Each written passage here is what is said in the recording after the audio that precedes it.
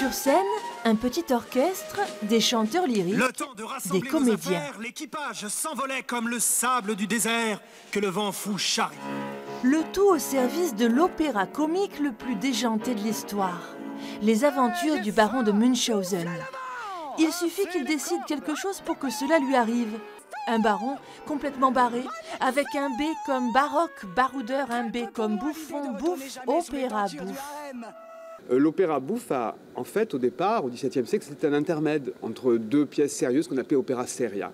Et donc, pour se détendre, le public, euh, on lui faisait une demi-heure où il y avait des histoires de, de maris cocus, de femmes infidèles, et puis on repartait dans des opéras sur les dieux et sur toute la mythologie. Et le public, la mythologie, euh, pour lui, ça commençait à bien faire. Et petit à petit, euh, l'opéra bouffe a pris de plus en plus de place. Je grimpe dans les cirrus Pour devenir un genre à part entière. Cette fois, le baron de Munchausen est interprété par deux comédiens.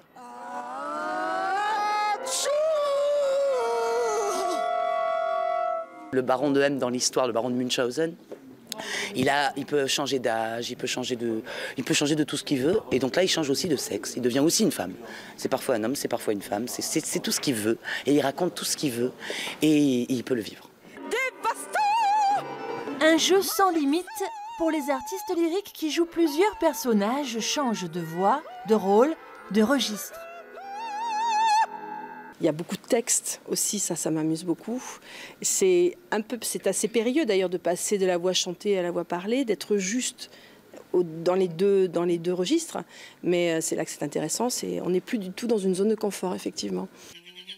Alors oubliez le confort, le baron de M vous emmène dans les entrailles d'une baleine, sur la lune ou sur un champ de bataille. Attention aux boulets de canon.